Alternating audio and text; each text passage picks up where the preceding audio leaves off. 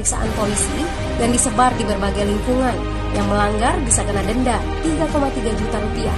Bagi pasien positif yang tidak mau mengkarantina diri, bakal dituntut dengan pasal pembunuhan, hukuman 1 sampai 12 tahun penjara. 21 Maret jumlah korban meninggal di Italia terus meningkat melampaui Cina. Sebagai gambaran, luas Italia itu kurang lebih dua kali Pulau Jawa. Penduduknya lebih dari 60 juta jiwa. Lalu apa yang harus kita pelajari dari Italia? Yuk, mulai dari diri sendiri, mulai dari di rumah aja. Jaga kebersihan lalu isolasi diri dan keluarga. Tidak keluar rumah kecuali sangat penting. Ini saatnya memulai solidaritas. Yang mampu harus mulai membantu yang tidak mampu. Ini adalah bentuk usaha dan doa kita semua. Semoga badai corona ini segera berlalu.